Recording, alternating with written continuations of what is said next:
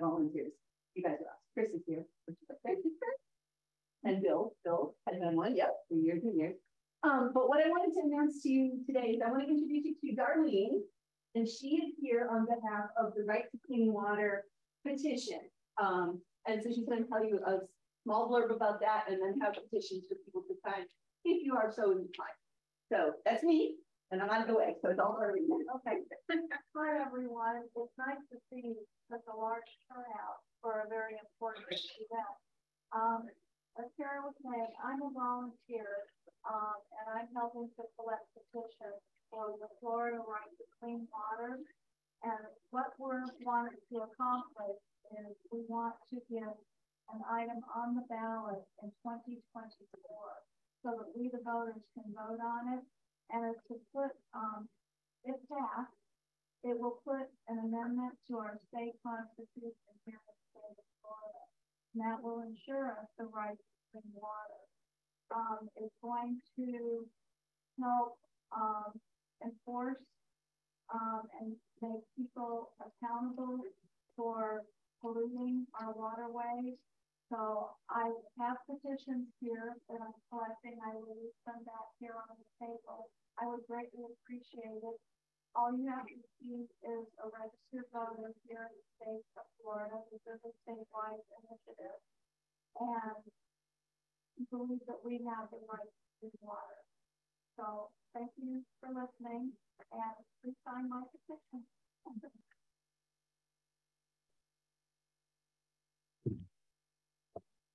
All right.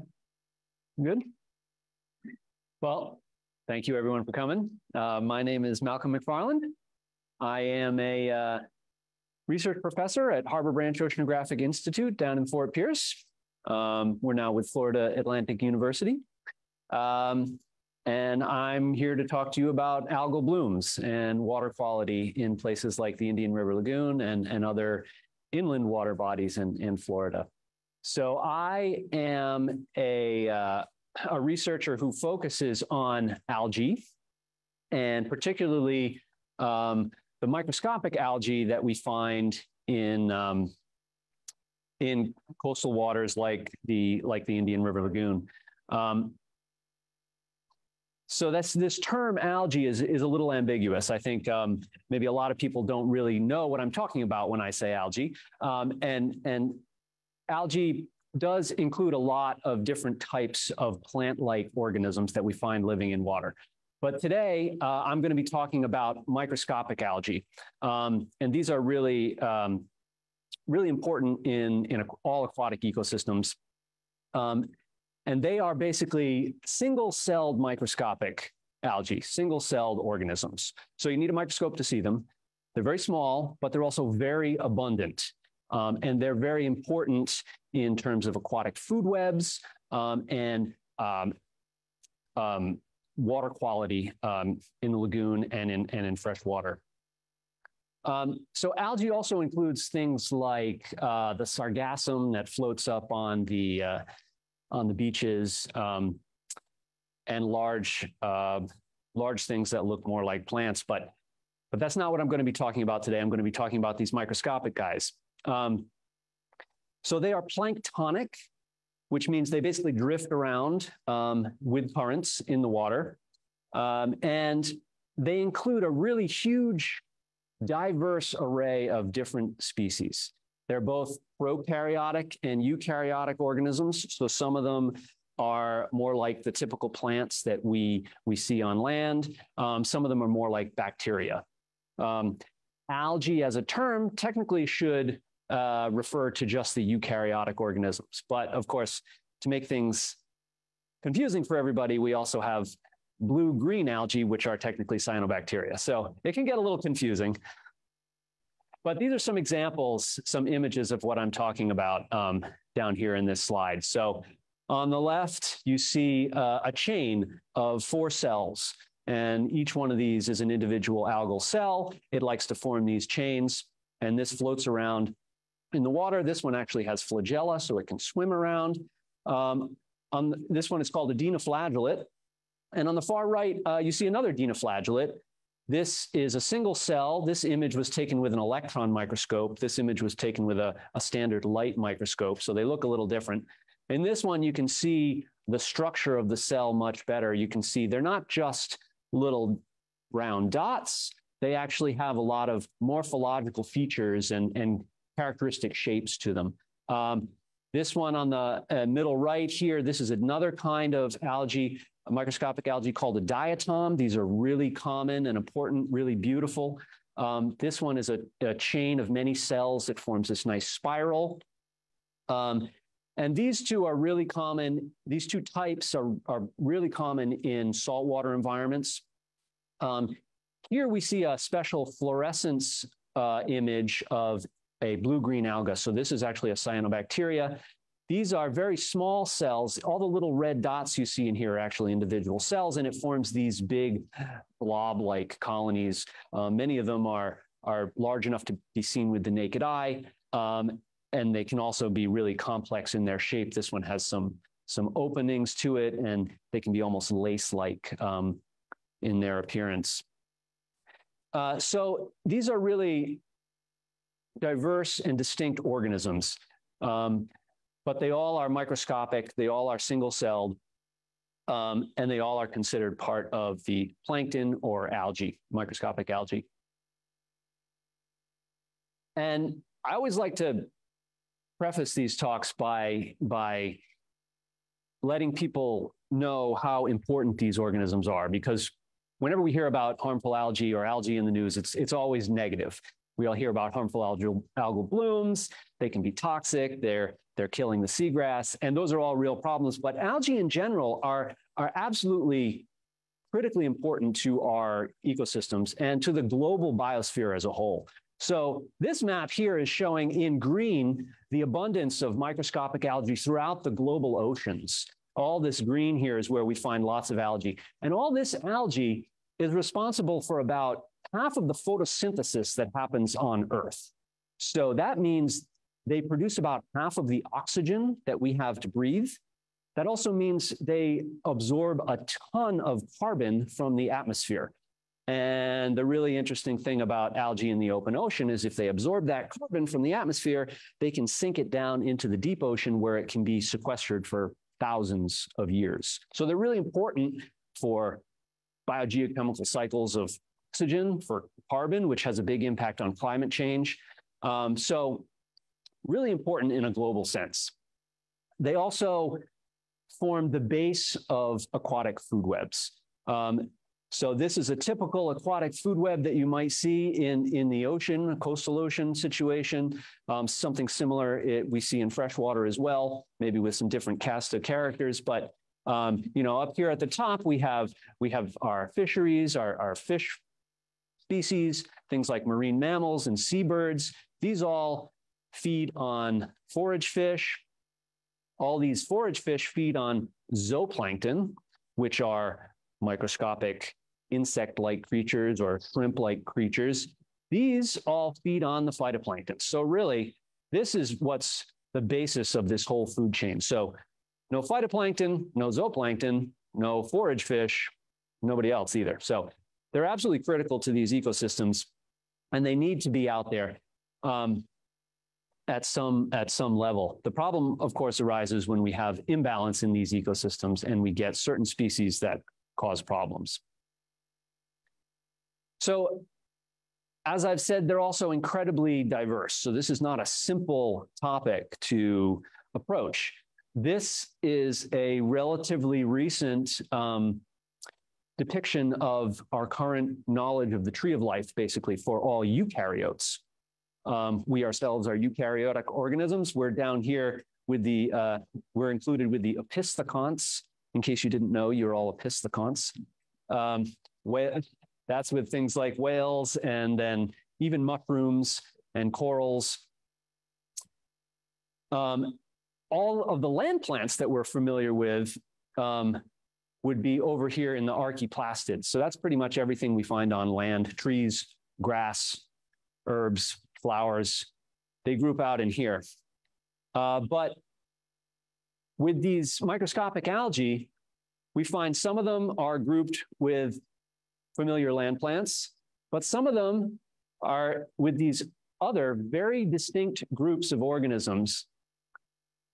We find representatives from um, the stramenopiles. This is where those diatoms are grouped. Alveolates are where um, we find dinoflagellates. I showed you pictures of both of those a couple slides ago. And then we also see um, excavates in some ecosystems. So these are, in an evolutionary sense, these are very different from the um, common plants and animals that we're familiar with. So they're extremely diverse. And to me, that makes them very interesting.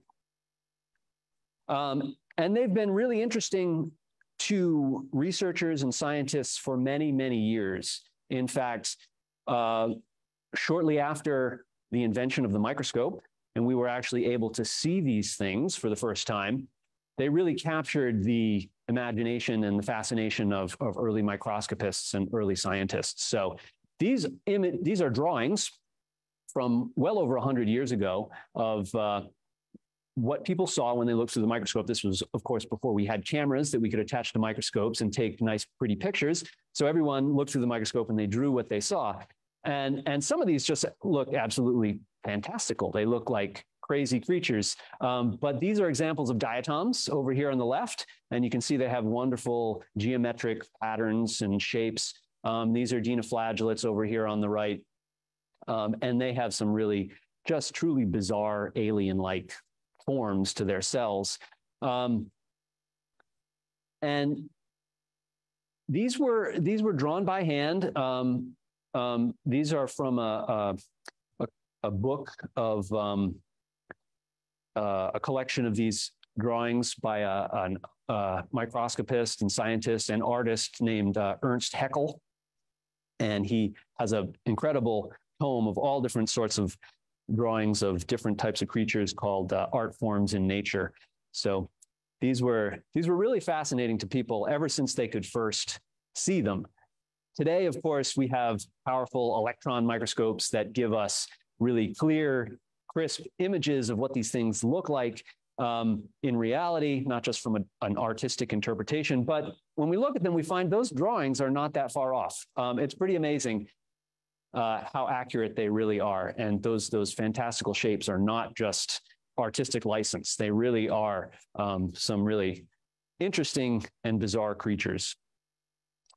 Um, and they were even used uh, in a very artistic sense um, to make these beautiful uh, arranged slides. This was a pastime of some of those early microscopists. They would actually painstakingly collect different um, cells uh, and, and place them onto a microscope slide in these uh, arrangements um, just because they look really cool. Uh, so these are all um, diatoms, and these are actually the, the, set, the shells of diatoms. So diatoms as a group, they produce um, shells made of silica, which is basically glass. So these are all little glass shells produced by these single cell organisms and then arranged um, on microscope slides and, and viewed in different ways. And, and this was sort of a, a pastime of the, of the, uh, the wealthy and elite um, at the time. They would show off their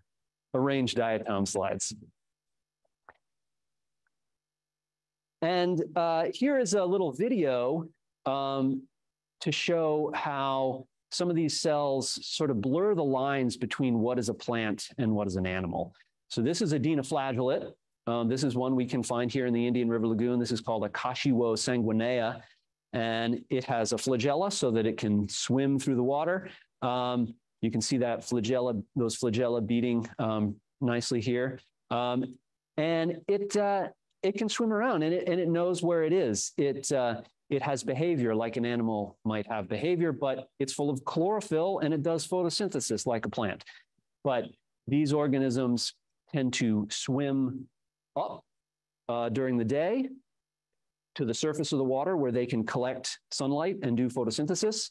And then they can swim down near the bottom at night where they can collect nutrients that they need, like nitrogen and phosphorus fertilizer, basically for plants.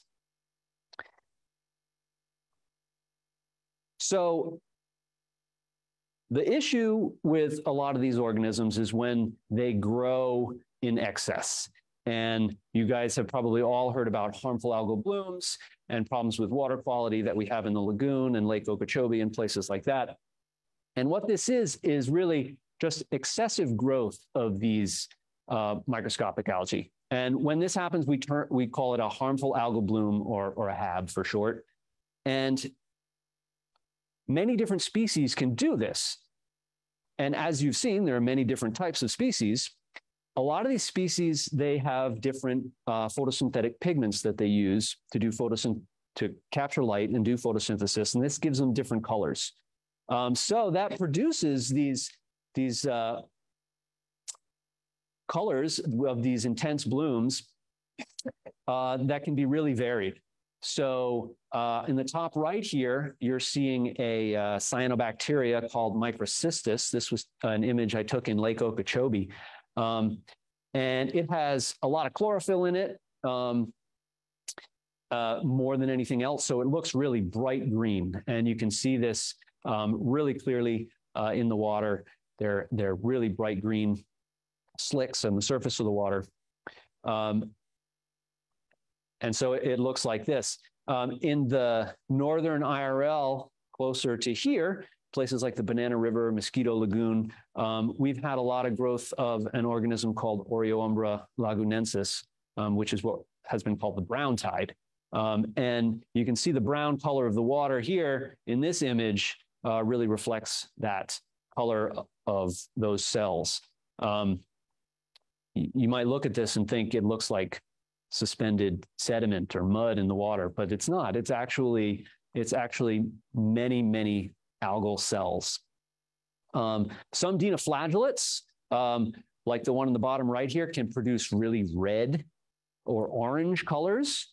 Um, and that's what you're seeing here is a, is a really bright orange slick of a dinoflagellate bloom. And then there's other sort of um,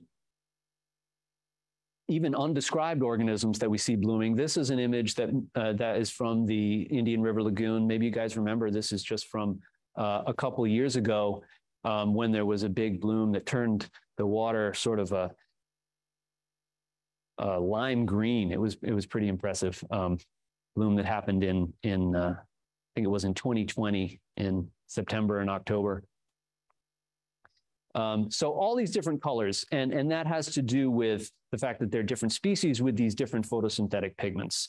Um, so often, you know, we'll call this Aureoumbra the brown tide. Dinoflagellates get called red tide because they tend to have this reddish color. And then sometimes we'll call um, these blue-green algae blooms like Microcystis a green tide. I guess we have to start calling this a yellow tide. I don't know. um, so when these things grow in excess, um, they can be problematic in a variety of ways. Uh, so the most direct, um, the most direct problem, and probably the one that is is of most concern globally with these blooms, is that many of them produce toxic compounds. Uh, so we don't necessarily know why they do it. In some cases, it may be for defense. In some cases, it may be for other um, purposes. But for whatever reason, the various compounds that these organisms produce can be toxic to humans and animals. Um, right out here in the Banana River and, and in the northern IRL, every summer we usually see blooms of a dinoflagellate called Pyrodinium bahamense, which is responsible for a lot of the bioluminescence that we see out there. It also produces a lot of toxin, uh, produces a toxin called saxitoxin. The, the microcystis blooms that I showed you an image of in uh, Lake Okeechobee, they produce a liver toxin. Um, so these are, these are problematic. These can be dangerous to humans and wildlife. And humans are usually exposed to this through eating shellfish. That is the most common way of getting, um, getting exposed, shellfish or other fish. Um, but another common occurrence is uh, anoxia. So when these when these um, blooms get really intense, they there's a lot of organic biomass in the water. Um, when the bloom is healthy, that's usually not a huge problem. They're doing photosynthesis, they're producing oxygen. so it's not a problem. But when they die, when they run out of nutrients and they all die at once, there's a whole lot of organic material in the water that fuels growth of bacteria. And that bacteria consumes all the oxygen in the water very quickly. And that can cause fish kills because fish need oxygen to breathe. And if there's no oxygen in the water, they will die if they can't escape. Um, shading is another really important one around here. So I'm sure everyone has heard about seagrass loss. That has a lot to do with um, shading by these by these uh, microscopic algal cells in the water. They get really abundant. They absorb all the light before it can reach the bottom where the seagrass grows. Seagrass has no light to grow, and it will simply die. Um, they can also produce mechanical damage to fish, uh, as fish gills especially. So if you look over here, this is a diatom um, called Chaetoceros. And if you remember, I said the diatoms produce shells made out of glass. So these, the cells of this are, are um, encased in glass, and they also produce these long glass spines. And these glass spines have little barbs on them. I don't know if you can see very well in this image, but they have like, like thorns on a rose might have. Um, and these can be very irritating to the uh, gills of fish and actually cause them to suffocate if they're in uh, really high abundance. Um, this Akashiwo sanguinea, which is what you saw the video of, it actually is known to produce a lot of mucus secretions, produces a lot of goo that it just puts out into the water. And this has been known to cause problems with seabirds. So it can destroy the uh, waterproofing on seabird feathers. Then they can't dry out, they get hypothermia, and they can die that way. Um, and of course, last but not least, no one likes to see these harmful algal blooms. And so they're not good for local economies and, and businesses that rely on the water for, uh, for their income. And it seems like this is becoming more of a problem. Um, as I said, these toxins can be a direct threat to human and animal health. It's a risk to entire aquatic ecosystems, not just a few um, a few species or humans in particular. Um, it's detrimental to tourism and, and local businesses. And we're seeing more and more of these headlines, um, especially in Florida. Um, it seems like there is some evidence that these are increasing worldwide. So probably not just Florida, but I think Florida really is on the front lines of, of this phenomenon, unfortunately. Um, this is probably related to climate change in some way. Warmer temperatures are probably going to favor more microscopic algal growth. But it's also related to just the fact that we have more and more people living near the coast here that are producing more and more nutrients that end up in our waterways. So that's a little background about microscopic algae in general. Um, in particular, there are a number of species that I focus on in the research that I do um, that I think are of particular concern here in the lagoon and also in some of our um, inland uh, inland waters like Lake Okeechobee.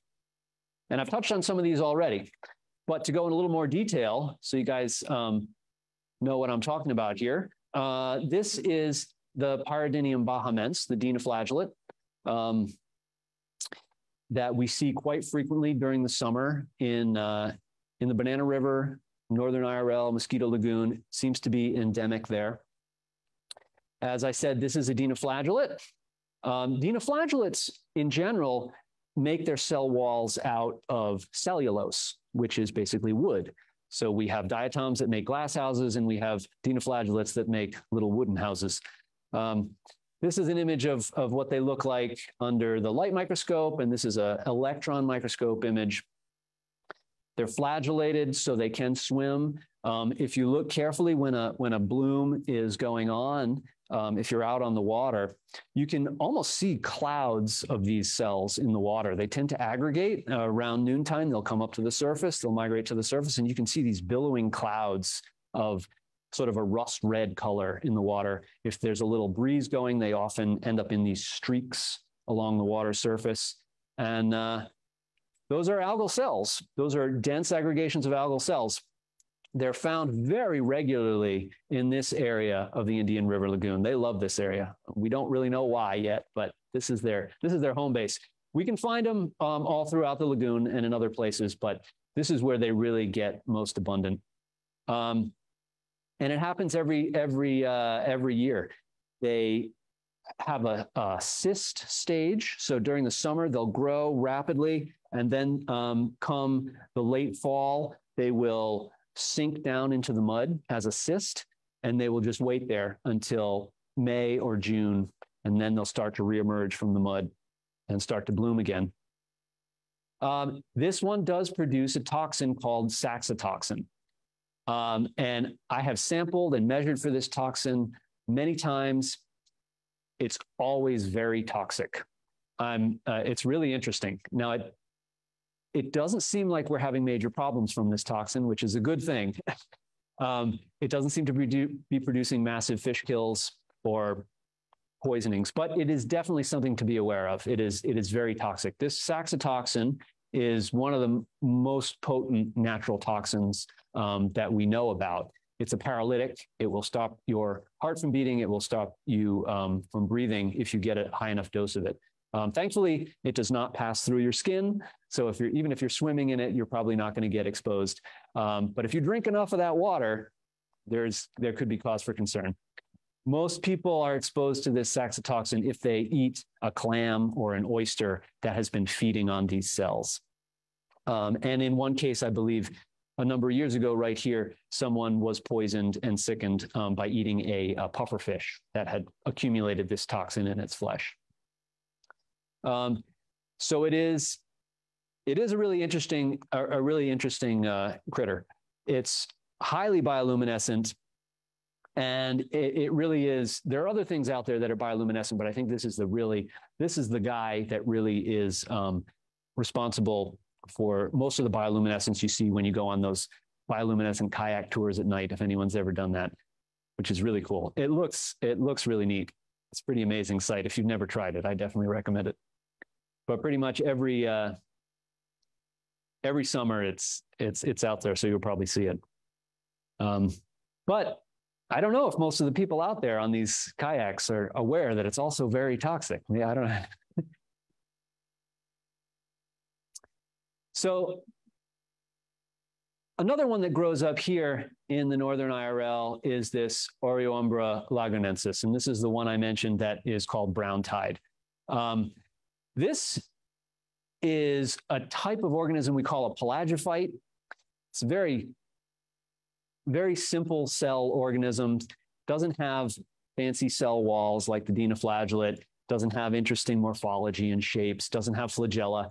This one really is just a little round dot. It's very small. Um, and even under a high power microscope, it still looks just like a little round dot. And this is a transmission electron micrograph of a single cell not much to it. It is still eukaryotic. As far as we know, it does not produce any toxins, but we don't know a whole lot about this guy yet.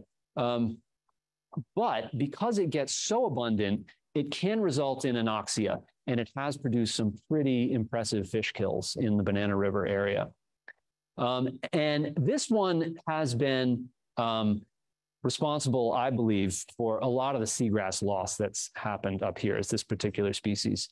It seemed to show up, um, I think around 2011, maybe 2012 in the in the Northern IRL, and it has stuck around ever since. It goes up and down, but it seems to have gotten a foothold in this ecosystem and uh, and uh, has done really well. It's interesting because, as the name may imply, pelagophyte, this was thought to be or originally identified from the open ocean um, deep in the open ocean. Um, but somehow it's managed to find a home here in this coastal environment and do very well for itself. Uh, blooms of this have also happened in uh, Laguna Madre, Texas, um, which is where this one gets its species name from, lagunensis. Um, and like, um, like here, it also stuck around for many years over there when it started to bloom. And this, this is really interesting. Usually these blooms are they can last for weeks, maybe a month. maybe two months. This thing stuck around for years when it was really blooming. And I, and I think that's why it really had a detrimental effect on the seagrass. And so this is an example of, of you know, another picture, aerial photograph of the brown water. And this is an example from uh, when there was a, a, really nasty bloom of it that eventually died and caused all this anoxia. And these are all dead fish you see in a canal um, just off the uh, Banana River Lagoon. You guys maybe have seen this before, or maybe you remember when it happened.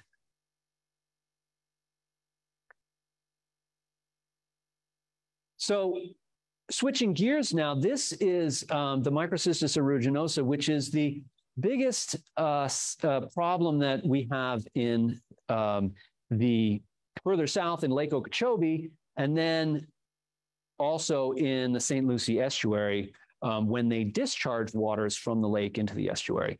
So this one, again, it's very abundant in Lake Okeechobee. It, it blooms seasonally pretty much every year. Um, I haven't been here for all that long, but every year I've been here and there's been a bloom of it out on the lake.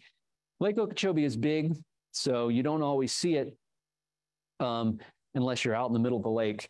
Um, but it's clearly visible from space. And these are a, a type of cyanobacteria. So this is a prokaryotic organism. Here's a piece of one of the colonies that it makes. Each one of these little dark green dots is a cell, but they all glom together in this big mucus ball. Um, uh, it, it's really, it's more of a freshwater organism. We do find it in the St. Lucie, but it really, it likes fresh water. Um, and it does produce a toxin, which is named after it, called microcystin. Um, this is a liver toxin. So too much of this will really damage your liver and it can kill you as well if you get a high enough dose. The really interesting thing about this particular um, alga is that it has inside each individual cell, it has these honeycomb structures, which you can see in this electron micrograph here. These, these, um, these honeycomb structures are actually gas vesicles. So they have a little bit of gas inside them, which makes them extremely buoyant. So they float right to the surface very, um, very effectively. And that helps them um, shade out other species. So they get all the light. Everything below them doesn't get any light. Um, it also brings them all right up to the surface where they're really easy to see and they form these bright green slicks. So that means there's a lot of cells concentrated right at the surface. It also means there's a lot of toxin concentrated right at the surface. So we can see them, but they're also very, uh, they're, they can also be very toxic in these, in these bright green patches. Um, this one is, it's it's very, it, also can do some vertical migration. Uh, we don't see that happening too much in Lake Okeechobee because it's too shallow, but it can actually inflate or deflate those um, gas vesicles, rise to the surface or sink to the bottom um, if it wants to. This is also really common in Lake Erie and has been a big problem up north. So it's kind of interesting that it can it can be really abundant in uh, in the hot climate of Florida, but also way up north in Lake Erie. Um, so it's a really incredible organism. And like I said, you can see it very clearly from space. So here's a satellite image of Lake Okeechobee. This green sort of mottled appearance that you see across the surface of the lake, that's all that microcystis. And it shows up really nicely because I said it floats to the surface and it's bright green. And then when um, the Army Corps of Engineers uh, discharges from the lake to control the lake level, uh, a lot of this stuff can end up in the St. Lucie estuary near Stuart. Um, and that's what gets people all up in arms. And, and it's dangerous. Um, aggregations like this can be loaded with toxin. And um, while humans probably are not going to be directly exposed to it because, you know, we see something like that, we know better than to drink it. Uh, people's pets um, have been poisoned. Um, they don't necessarily know that there's toxin in the water. A dog might, has uh, might drink that water if you're not watching it, and that has happened. Um, and a couple days later, they die of liver failure. So something to be careful of. And Karenia brevis is another one that you guys have probably all heard about. This is the Florida red tide. So red tide as a term in general generally refers to any sort of dinoflagellate bloom. But in Florida, when we say red tide, it's almost always referring to this bloom because this is such an impressive bloom that happens all the time off the mostly off the west coast of Florida in the Gulf of Mexico. But on rare occasions, we do see it um, off the coast here. And this is really a ocean critter. This guy likes the ocean. So we don't see it in the lagoon very much, which is good. Um, it's a dinoflagellate. It's a type of dinoflagellate that does not have that cellulose cell wall. It's what we call a naked dinoflagellate. Um, here's an electron micrograph of it down here. So it has a it has a flagella. It can swim around. It can do vertical migration in the water. It produces brevetoxin, um, which is extremely toxic to fish. So it's responsible for an incredible amount of fish kill in in uh, over on the west coast of Florida, and and anytime it's in any abundance in the water. And maybe you guys have experienced this. I've I've seen you know the amount of dead fish that that can be produced by one of these blooms, and it's it's it's amazing to think that there could be any fish left in the ocean after seeing what this thing can do. Um, the brevetoxin is toxic to people as well. If you consume enough of it, it's a neurotoxin, um, but it's also a respiratory irritant. So if you are on the shore and uh, wave action is sort of kicking up spray, you can really feel the effects of the brevetoxin when you try and breathe. I don't know if anyone has experienced this here. It's uh, it really irritates your nasal passageways, you, the back of your throat, and it'll really it make you start to cough. Um, that's the brevetoxin produced by this dinoflagellate. Um, it can be it can be an issue, especially for people who have asthma or other respiratory problems. Um, and like I said, it usually forms over here along Tampa, Fort Myers area. But when it gets really bad, it can get picked up by the Florida current and the Gulf Stream. And this happened back in 2017. And it starts to get pushed north. But as it gets pushed north, it can get deposited along our eastern shore. And then we start to see fish kills um, along our eastern shore. And it seems like this is maybe, historically speaking, this is maybe once every 10 years this might happen. Um, so it'll be interesting to see if that frequency increases with something like climate change. Um, and I think this is the last but not least. This is another um, species that we're keeping a close eye on. This one is really interesting. This is a diatom um, called Pseudo-nitzschia. You can see some light microscope pictures of it here. And so it has the glass shell like other diatoms. Usually diatoms are the good guys. These are the good algae that we like to see in aquatic ecosystems. They usually don't produce toxins. They usually don't produce harmful algal blooms. But this one actually does produce a toxin um, called domoic acid. And uh, we have been monitoring the abundance of these species uh, in the lagoon. And there can be quite a bit of it at times. We have seen blooms of this that are that are pretty impressive, but they're not as obvious as a lot of the other blooms. They are small cells that are more transparent. And when you see a bloom of this in the water, you wouldn't necessarily think that it's a, it's a harmful algal bloom. There can be quite a bit of it in the water, but it doesn't discolor the water as much as some of these other species. Um, the neurotoxin that it produces um, actually causes memory loss and brain damage if you get enough of it in your system. Um, it is not always toxic. It doesn't seem to always produce this toxin. Um, but we have measured detectable amounts of this toxin in blooms from the lagoon. So we believe it's out there and uh, it's producing the toxin at least sometimes.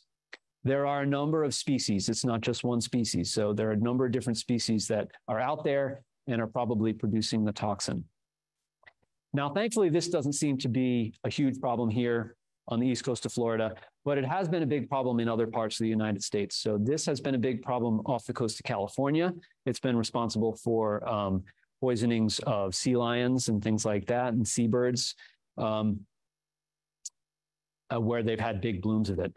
And just like um, here, they're, they're kind of cryptic blooms. They're not too obvious.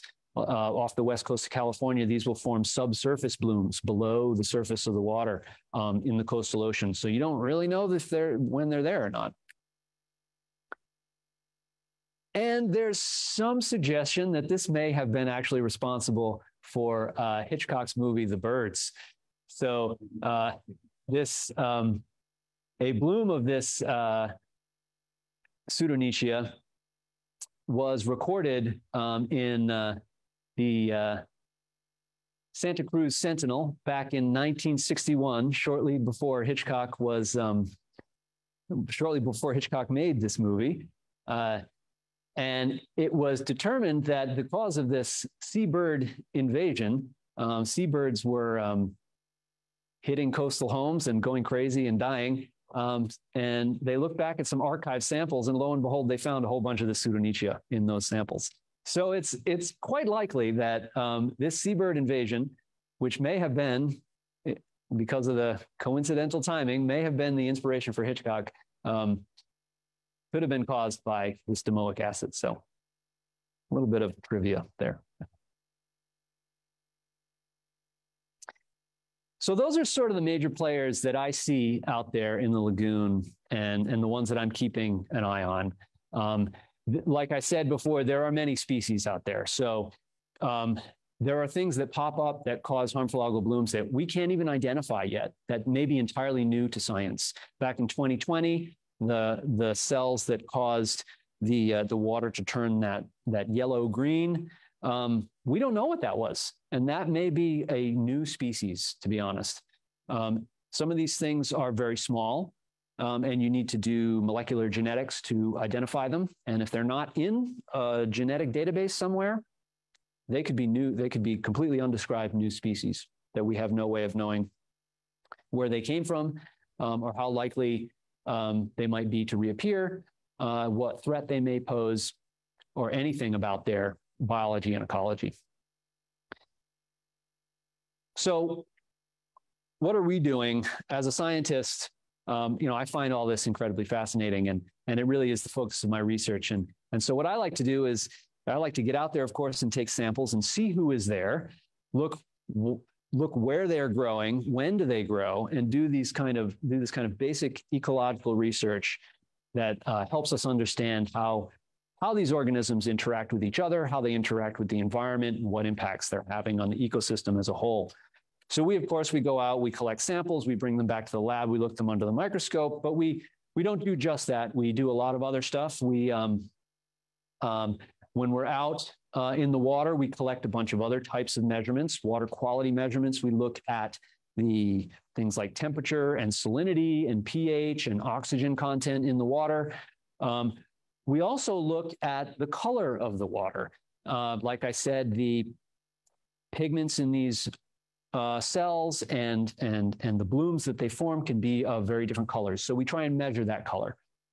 And that helps us relate what we see uh, in the water to what a satellite might see um, looking down from above. Uh, we also, so another thing we use to measure the color of the water is an instrument like this. This is, uh, this is an, an instrument, um, a radiometer that is currently installed in the Banana River on one of St. John River Water Management District's uh, monitoring platforms. It's out there right now. It collects, um, it collects reflectance data. So it, it looks down at the water and it takes a measurement of the color of the water takes a measurement of the color of the sky. And um, we installed this in conjunction with NASA. This is a, a prod, NASA has instruments like these installed all over the world. It helps them validate what they're seeing in the satellites. Um, so we got one and we got it out here in the Banana River Lagoon. And it's out there right now collecting data. And you can go, you can, if you're so inclined, you can go download the data from NASA's website. Um, and then, you know, this helps us, this sort of in water data helps us relate those cells, those individual algal cells that we see to an image like this, um, which is something we get from uh, the Sentinel-2 satellite, which comes by every few days and takes a picture of um, uh, the lagoon from thousands of kilometers up. this is an example of what we might see during a bloom. It, um, this was from that bloom in uh, in 2020 um, that was bright green water, and you can see all through most of the Banana River and a lot of the northern IRL here, just bright green water. Down here, we got some clearer water. So you can really see the, the distribution of these blooms really nicely in the satellite images, which is really helpful.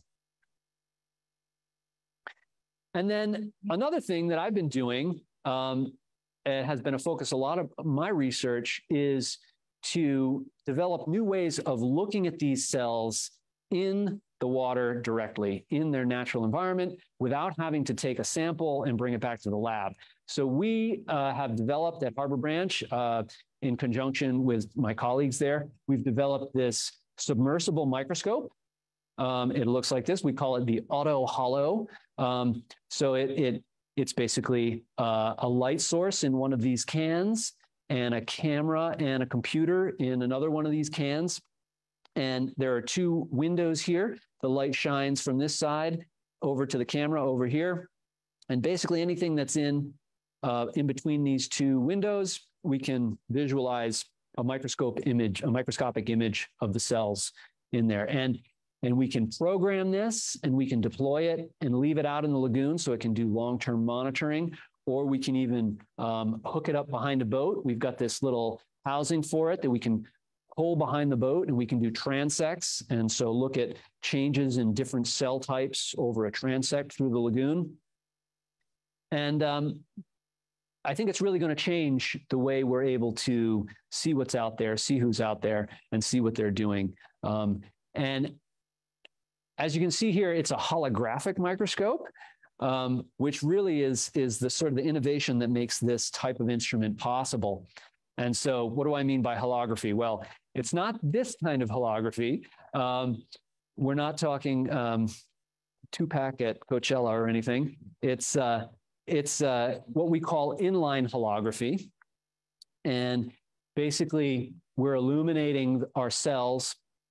Any particle, this could be a cell, um, is illuminated with laser light, this coherent laser light, and it produces these diffraction patterns. And this is what the camera actually captures is these diffraction patterns. And here's an example of a hologram down here. This is what a hologram might look like. Kind of looks like ripples on the surface of a pond, right? If you dropped rocks into it or something. These diffraction patterns can be analyzed with a computer, and we can basically refocus this image after we've taken it to bring the cells um, back into focus. And that's what you're seeing here in these example images. So here's the raw hologram, and then we've digitally reconstructed that hologram at 11.8 millimeters from the camera. And we see this chain of cells come into focus. Um, if we refocus that image at 22.6 millimeters from the camera, we see this spiral chain of cells come into focus. And then we can generate this composite image where everybody's in focus. So we can, um, we can look at who's out there in a relatively large volume of water. See, the, the real advancement here is that we can now look at a relatively, you know, we can look at several milliliters at a time. Um, with a conventional microscope, if you were to try and do this with a conventional microscope, 99% of what you tried to look at in the ocean would be out of focus because you, when you magnify an image really big, your depth of focus gets really, really small. Um, but the holography, we can overcome that. And so that's what we're doing here. I think it's a really cool advancement. And we're, this is a brand new instrument that we've just developed and we've been deploying it um, in various places locally. Um, right now, my colleague actually has it in the Mediterranean over in Spain, but uh, it'll be back here soon. And um, so we've used it to image uh, the Pyrodinium bahamense up in the Banana River. And yes, the images aren't as great as my light micrograph, my my laboratory microscope images, but we can see enough features here to tell that these are Pyrodinium bahamense. You can see the spines and the shape of the cells. We can see some diatoms with those glass spines here. Um, this is another type of diatom that forms these big spirals. This is what the red tide looks like. This is the Karenia brevis. So we've taken it over to the West Coast. We stuck it in the red tide bloom and we saw lots of these cells. And then there are some other other types of cells that we've been able to see and identify. These are just a few. Obviously, there are thousands. And we could spend all afternoon looking at images if you wanted to. Um, yeah, so that's kind of where we're going. That's and, and the idea with this is we can we can put it out there.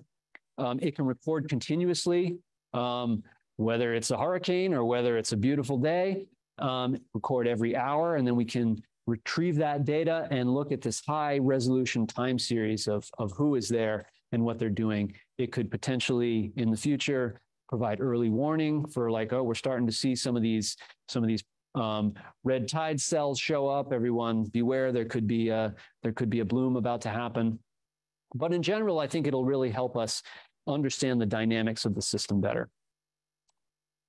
And uh, that's pretty much all I have. Obviously, all this work is not just done by me. There are lots of people who help out um, uh, with all this research. Um, a lot of my colleagues here are at Harbor Branch with me, and and we've been very lucky to receive funding from from a lot of these different agencies. NSF, NASA, and and the IRL NEP as well has been really supportive. Um, even the um, Office of Naval Research and and the Harbor Branch Foundation as well has been really um, helpful in in bringing all these all this research together to uh, um, really get a complete picture and I think push us forward towards a better understanding of what's going on out there in the lagoon and and other places like Lake Okeechobee. So I guess with that, I'll I'll take any questions you guys might have. So uh, we are zooming into the digital world. So if you have questions, please write them down and deliver them to me, and I'll ask them so that uh, everyone can hear the question live and in the digital realm, if that's okay. Um, so I do, I do have some questions. Yeah, sure. Um, there's uh, these are complicated questions. okay. I'll do my best. What what are the are there major entities or resources available for education and outreach concerning your work, this type of work, and uh, algal blooms, harmful algal blooms? Well, um, uh, as far as resources available, I um, I, I think there there probably isn't a whole lot. I think this is sort of um, an area that that hasn't received a whole lot of attention. I think it's I think it's getting better because because of the the problems that we've had locally. Um, but I, I, try and do talks like this as much as I can. We have a, um, a series at um, Harbor Branch where where things like this, harmful algal bloom issues, are, are brought up a lot um, to educate people who are interested and, and, and want to come and hear uh, about these problems and these issues. Um, at um, Harbor Branch, we do have our, our visitor center, which has a lot of information where people can come and, and learn about um, all sorts of things about the lagoon and, and algal blooms and, and the ocean in general. Um, but yeah, there, there, uh, there probably could be more resources out there available. I think that's something we all need to all need to work on. And uh, we have a question. What is the how does the algae interact or how does it correlate with muck? How does the algae correlate with muck? Ah, yes. Um, well, so um, these algae, um, like plants, they need they need nutrients to grow. Um, things like things that all plants need nitrogen and phosphorus the components of you know what you would fertilize your lawn with. Um, things like muck can trap a lot of those nutrients. Um, and when we disturb that muck when it is um, or, or, or even say when the overlying water column becomes anoxic changes in water quality can cause nutrients to be released from that. And so um, it could be a source of these high nutrient concentrations um, that could fuel these blooms, algal blooms. Um, but in general, it's um, yeah, it's it's something I think we need to know more about. Um, and there, a colleague of mine, Jordan Beckler, is is looking into this a lot. I, I think the the relationship, the the impact of muck on on the algal blooms and and water quality in general is is it's interesting. I don't think we have all the answers yet. Thank you. Will, do you have a, a number of how many fish kills there have been recorded this year? And are there projections of what our fish kill situation might be? Yeah, I don't have those numbers, but I bet you that um, FWC uh, has those numbers. And probably the water management districts for their local districts probably have a good sense of, of what those are. Um, forecasting into the future is um, is really difficult. Um, these blooms are really hard to predict because they depend on so many variable factors: um, weather, rainfall, temperature. Um, it, it's really really tricky. I think it's something that we we should be really looking into more though um, and developing the predictive models is something that's a big uh, research push right now I know the Army Corps of Engineers is really interested in having predictive models for Lake Okeechobee so that they can schedule their discharges and not end up transferring a bunch of toxic microcystin um, into the St. Lucie estuary near the Stuart area. Um, so that's that's an area of ongoing active research. Other places in the U.S. do have started down that path. Uh, Lake Erie has a has a simple prediction um, model and website where you can go. And I think that would be great to have around here. I think um, I think that would be a fantastic thing to do. Um, but it takes funding and it takes it takes uh, takes research dollars to to make that happen. Thank you. Um, are you have you done many studies with the uh, how retention ponds uh, are they contributing? I have not directly, but um, a lot of the retention ponds are going to have a, I would expect, have a big impact on nutrients and how they end up in the lagoon, how much of the nutrients in surface runoff ends up in the in places like the lagoon or or larger water bodies. So it's definitely an, an important piece of the puzzle. Um, ideally, uh, natural wetlands would be a, a sink for these nutrients. They would be like sponges that would be absorbing up a lot of this excess nitrogen and phosphorus. Um, so, unfortunately, Florida, through development and agricultural as well as urban and residential, we've lost a lot of those natural wetlands. Um, so, those natural sponges that would be absorbing those excess nutrients are gone. And, and um, retention ponds, if they're done right, they could help fill in that, that missing gap. Um, but that's another area where I think we need, um, we need to look at it more and get a better understanding of what sort of impact they could have and how we can build them so that they do have a, a, a positive impact on water quality. And uh, would aeration uh, fountains in the in the ponds or any any kind of aeration uh, in small water bodies you know aeration could help um, to reduce algal blooms um, but in larger water bodies like the indian river lagoon that's not really a, a, a scalable um, option unfortunately. Um, just too too much water can't aerate at all. But in small like a small residential pond or, or something that that could help the situation. Do we have any other questions? We're good. Did you have a question? I, I was along this line. I was just wondering what your feeling is about the research research you've done so far and is it contributing to good efforts to reduce the algal, algal blooms. What's your personal opinion on this? Not a not yeah. for a scientific analysis. Yeah. So I, I, I see myself, um, you know, as a scientist, sort of my my role is to better understand the problem, so that we can use that information to to make informed management decisions.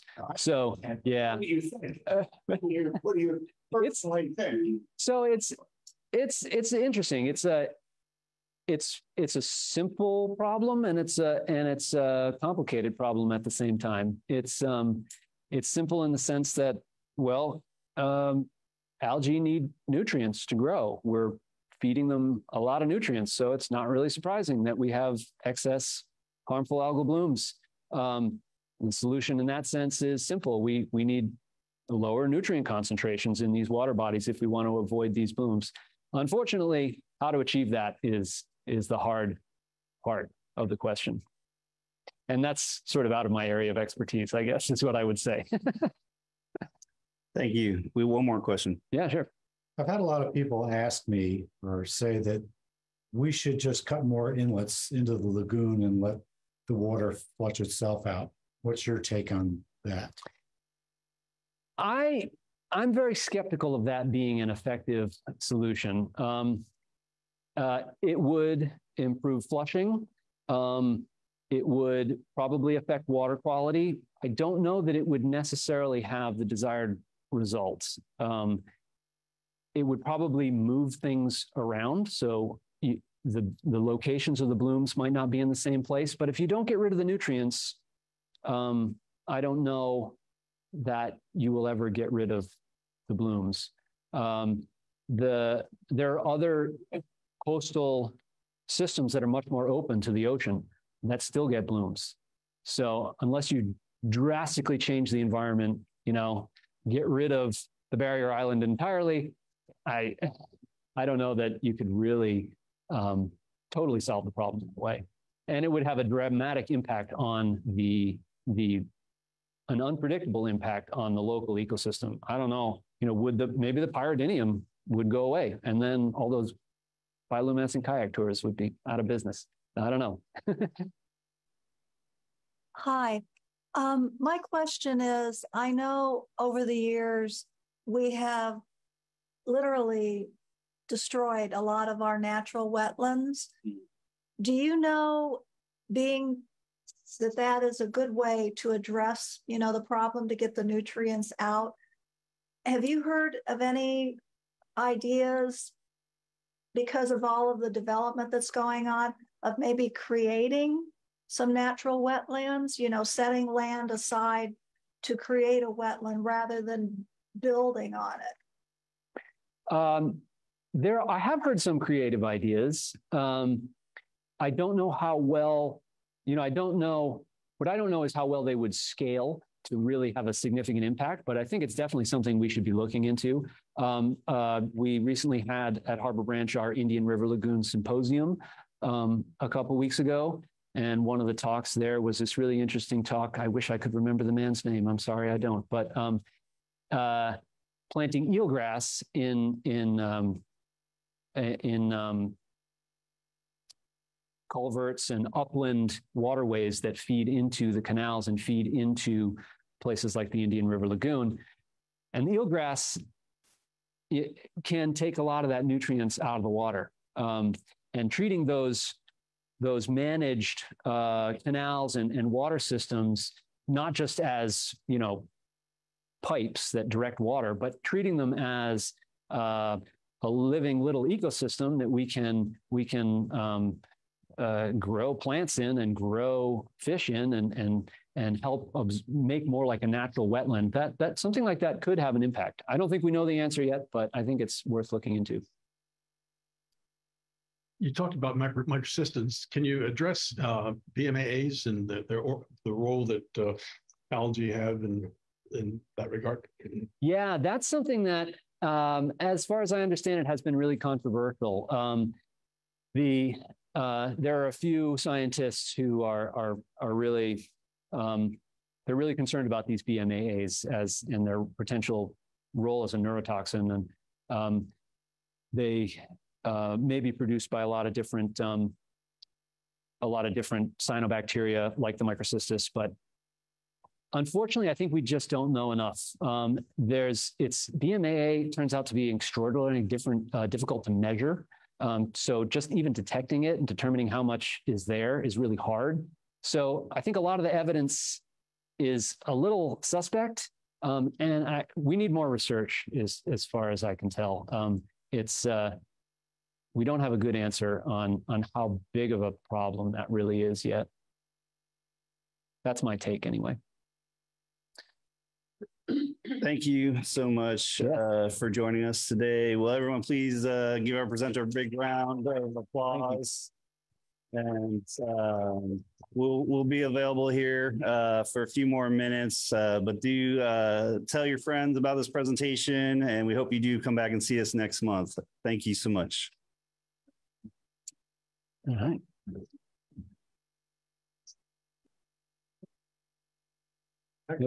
No, thank you.